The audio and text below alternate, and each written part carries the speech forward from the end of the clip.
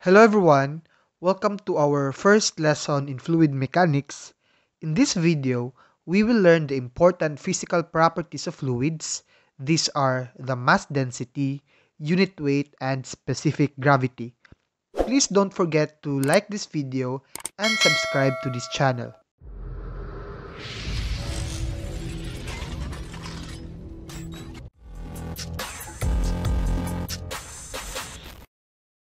One of important specifications to determine whether a matter will float or sink in a liquid or gas is by knowing its density. Density or mass density is defined as the mass of liquid per unit volume. Let's say you have an experiment and the goal is to determine the mass density of water. You use a 1 liter empty container that weighs 200 grams. Then you decided to fill it with water and record its total mass. So you recorded a total of 1.2 kilograms. So you get the mass of the water by subtracting the mass of the container which is 200 grams or 0.2 kilogram from the total mass. Therefore, you have the mass of the water which is 1 kilogram. We can say then that a 1 liter of water weighs and will always weigh 1 kilogram. Therefore, we can say that a mass density answers how much a matter, whether a solid, liquid, or a gas, weighs for every unit of its volume. Most commonly, mass density is represented by a symbol ρ and can be computed using the formula ρ equals to mass over volume. The unit of mass density is slugs per cubic foot for English and kilogram per cubic meter for SI. When you get the reciprocal of this formula, you would have the formula for specific volume which measures the volume occupied by a unit mass of fluid. For your reference, water, the most common liquid, has a mass density of 1 kilogram per 1 liter and 1,000 kg per 1 cubic meter for SI or 1.94 slugs per cubic foot for English unit. Mercury, on the other hand, has a mass density of 13,600 kg per cubic meter, which is heavier compared to water and that will sink when placed into water, while oil has a mass density of more or less 800 kg per cubic meter lighter than water and that will definitely float when placed into water. Unit weight or specific weight is the weight of liquid per unit volume. The weight of a liquid can be computed by multiplying its mass by the gravitational acceleration, 9.81 meter per square second for SI or 32.2 feet per square second for English. Unit weight is represented by the symbol gamma and can be computed using the formula gamma equals to weight of the liquid over the volume of the liquid. The unit weight can be computed directly by multiplying the mass density by the gravitational acceleration. Like for example, we know that water has a mass density of 1000 kg per cubic meter. By multiplying it by 9.81 meter per square second, we have the unit weight equals to 9,810 Newton per cubic meter. The unit becomes Newton since kilogram times meter per square second gives us the unit Newton. Or we can simplify the unit weight into 9.81 kilonewton per cubic meter. And that is in SI. That means a 1 cubic meter of water weighs 9.81 kilonewton. Now for English unit, we have 62.4 pound per cubic foot. To quantify whether an object will float or sink into a liquid, we have what we call specific gravity. Specific gravity is the ratio of the density of a liquid to the density of a referenced liquid. Commonly, we use water as the referenced liquid as we always want to know how other liquid behave once placed into water. Specific gravity is given as the mass density of the liquid over mass density of water, or the unit weight of the liquid over the unit weight of water. Obviously, from this formula, we have the specific gravity of water always equal to 1. If the specific gravity of the liquid is lesser than 1, that means that it is lighter than water and it will definitely float when placed into water.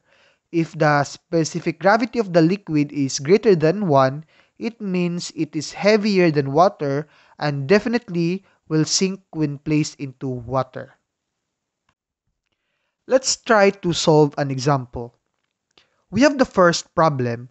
A 200 cubic centimeter of oil weighs 164 grams. Compute the letter A, mass density of oil in kilogram per cubic meter, letter B, unit weight of oil in kilonewton per cubic meter, and letter C, the specific gravity of oil. Since we are asked to compute for the mass density in terms of kilogram per cubic meter, we need to convert the values. We know that in 1 kilogram, we have 1000 grams. So we multiply 164 grams by 1 kilogram over 1000 grams. We can cancel the unit grams and the remaining unit is kilogram. So we have the mass equals to 0.164 kilogram. For the volume, we have the conversion 1 cubic meter is equivalent to 1 times 10 raised to the 6 or 1 million cubic centimeter. Thus, we multiply this to 200 cubic centimeter. We have the equivalent volume to cubic meter which is 2 ten thousandths or 0.0002 cubic meter. Or you can express it as 2 times 10 raised to negative 4 cubic meter. We are done converting the values to kilogram and cubic meter respectively. Then we use the mass density formula rho equals to mass over volume. Therefore, we have 0.164 kilogram over 2 times 10 raised to negative 4 cubic meter. So we have the mass density of oil equals to 820 kilogram per cubic meter. And that is our answer for question letter A. Now for the unit weight, we multiply 820 kilogram by the gravitational acceleration 9.81 meter per square second. Unit weight equals to 8,044.2 Newton per cubic meter or 8.044 kilonewton per cubic meter. Lastly, for the specific gravity, we will use the water as our reference liquid. You can use either the mass density or the unit weight in the formula. Let's use unit weight first. We know that specific gravity formula is the unit weight of the liquid over the unit weight of water. So we have 8.044 kilonewton per cubic meter divided by the unit weight of water which is 9.81 kilonewton per cubic meter. So we have the specific gravity equals to 0.82. If we try to use mass density, we would have specific gravity equals to 820 kilogram per cubic meter over the mass density of water equals to 1000 kg per cubic meter, which gives us 0.82. This is less than 1, therefore, oil will definitely float once placed into water. For our second example, seawater has a specific gravity 1.03.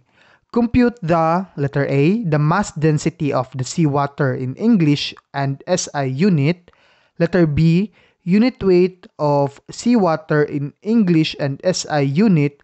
And lastly, the mass of 3 liters of seawater.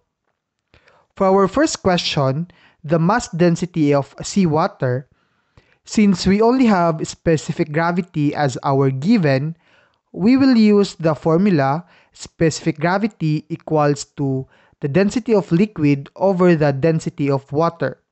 By cross-multiplying, we would have the density of liquid is equal to specific gravity times the density of water.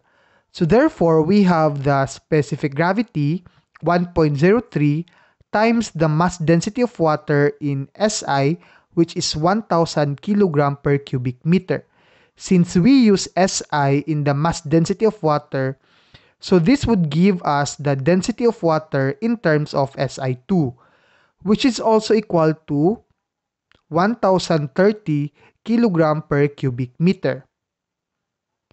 For English unit, we use the mass density of water which is 1.94 slugs per cubic foot. Thus, the mass density of our seawater in terms of English unit is equal to 1.9982 slugs per cubic foot. For our second question, the unit weight of seawater. We use the formula of specific gravity which is equal to the unit weight of liquid over the unit weight of water. Therefore, we have the formula the unit weight of liquid is equal to the specific gravity times the unit weight of water. This gives us 1.03 times the unit weight of water in SI which is 9.81 kilonewton per cubic meter. This would give us the unit of SI for the unit weight of our seawater. So therefore, the unit weight of our seawater is equal to 10.10 kilonewton per cubic meter. And that is in terms of SI unit. Now for English unit, we use 62.4 pound per cubic foot as the unit weight of water. Thus, this gives us 64.27 pound per cubic foot as the unit weight of our seawater. For our last question, the mass of a 3 liter of seawater. We just simply use the formula for density which is rho is equal to mass over volume. We have computed the density of seawater which is 1030 kg per cubic meter. Now take note our volume is in terms of liter, that is 3 liters. So let's convert it first into cubic meter we know that 1000 liter is equivalent to 1 cubic meter. So therefore, 3 liter is equivalent to 0.003 cubic meter. So we use the value for our volume by cross multiplying. We have the mass of a 3 liter of water which is equal to 3.09 kilogram. And that ends this lesson. For more videos, please don't forget to subscribe and hit the notification bell. Thank you for listening.